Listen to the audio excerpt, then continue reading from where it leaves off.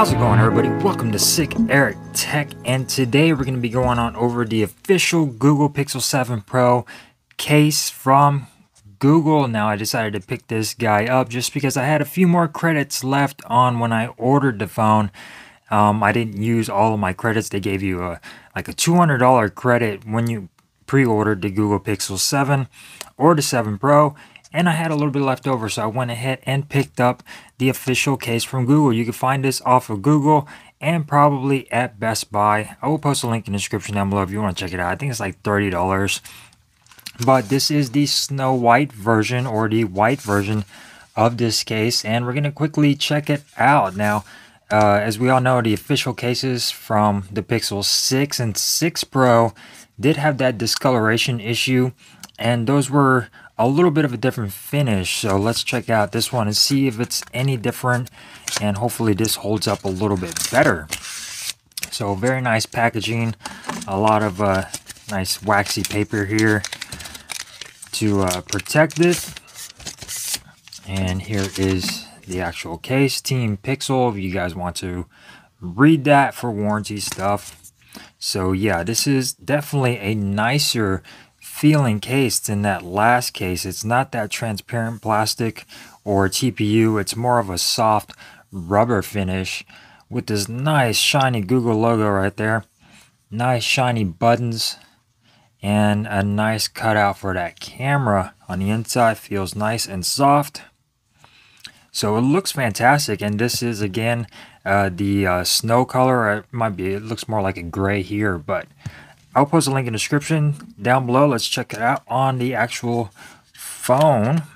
Check it out on the actual phone. And man, this thing feels really nice. Buttons are nice and clicky and tactile. Definitely feels really premium and I definitely like this feeling from the Google Pixel 6 cases from Google that came out. You get a pretty nice display protection lip along the top and the bottom so you can place this face down you should be okay. And as far as camera protection I would prefer it to come a little bit more in but this still does offer a lot of camera protection. For that camera as you can see there is a nice lip going across there. As we all know these cameras uh, tend to scratch up a little bit easier. And this just looks really nice and clean. I love this shiny Google logo right here all your cutouts line up really nicely on here. And man, this thing just feels really good in the hand. I'm definitely liking this case. I like the way it looks.